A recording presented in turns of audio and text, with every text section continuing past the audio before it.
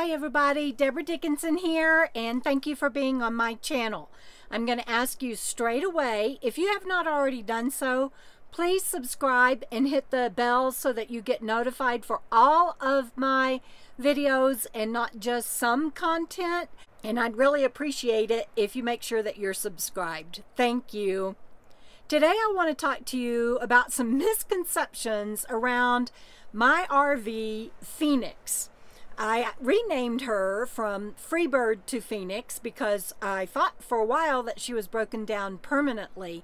And all of these videos will be linked in the video description or pinned comment if you've missed them. So please be sure and go and check that out.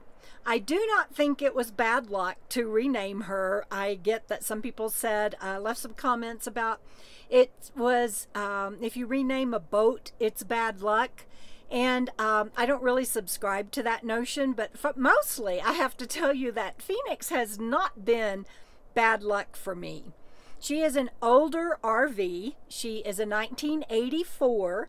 And so, anytime that you buy a vintage vehicle, no matter what it is, and it has not been maintained, there is going to be some maintenance on it and some expenses. And that is what has been happening with Phoenyx. It's not that she is a bad vehicle, and I certainly wasn't sold a lemon. I want to give a shout out again and and say how thankful I am to Gina and Jeff for selling me this rig.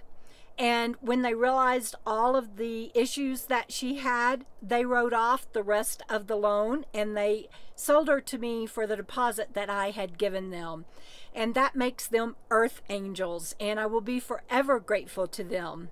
At this point, I am about 25,000 into Phoenyx with all of the repairs and everything that I have done.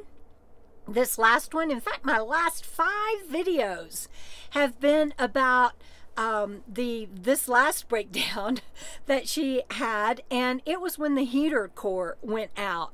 And Jana, Frugal RV Gal, if y'all haven't checked out her channel, please do because it is amazing. She does amazing videos, and I'm just so grateful for her and all that she has helped me with but we did a bypass on the heater core but it when it um, it seems like it exploded to me.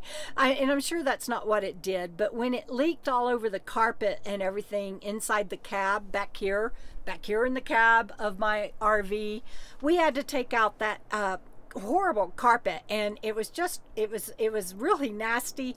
And we had to go get bolts cut out. And again if you've missed those videos you can find them in the pinned comment and the video description but again, that's just part of an older vehicle. We saved, and, and by we, I saved because of Jana about 1,500 to $2,000 on that repair by doing that bypass ourselves. And we were able to do that because of my cousin and uh, also Curtis, but my cousin walked us through every step of the way. And so thank you again, Mike. And I guess I just wanted to do this video because I'm seeing a lot of comments um, that uh, you know that um, the uh, rig isn't solid or she's not sound or that I got a lemon or any of those kind of things. And I just want to say that's not true we are going to paint the inside and I'm going to be making curtains and getting rid of the, the mini blinds. And there's just all kinds of wonderful things that's going to be happening with her that you're going to get to see. And she is a solid rig, especially after me putting about $20,000 into her and getting all of the mechanical part stuff done from, from the back to the front um, and the, the chassis and, and the uh, everything. Uh, gosh, I, I, you know what I need to do is probably make a list of all of the repairs and the costs that I have done. The parts for this, uh, the uh, heater core bypass, and uh, for getting the carpet and everything out and replacing the bolts and all that had to be done for that was about $300.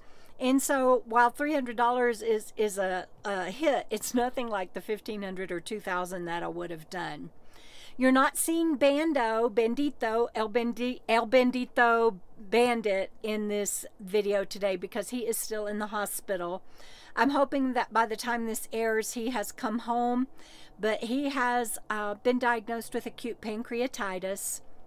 And actually while I'm making this video I'm waiting on the vet to call and I will be doing a video about that so you can stay tuned for that and I, and I hope to share with you what I've learned and uh, can pass on to you um, on information on that because I don't want my baby boy to get sick anymore but Phoenyx provides a beautiful home for Bandit and I. She is a solid rig. I am so blessed and grateful to be the proud owner of her and get to live this lifestyle. And there are times when I think, oh my God, I miss living in a van or something smaller so that I can go to beautiful places. But you guys, where I'm at now is also beautiful. And I'm with my friends Jenna and C Dubs. And, um, you know, I just spent the winter in Quartzsite and Yuma and that area and then went to Pahrump. And if you've been following my channel, you know that I get to do a lot of wonderful things with a lot of wonderful people. So I just wanted to set this story straight that there is nothing wrong with Phoenyx. Uh, she is a good, solid rig. I'm not going to be able to get a $25,000, 23 foot Class C fiberglass anywhere else.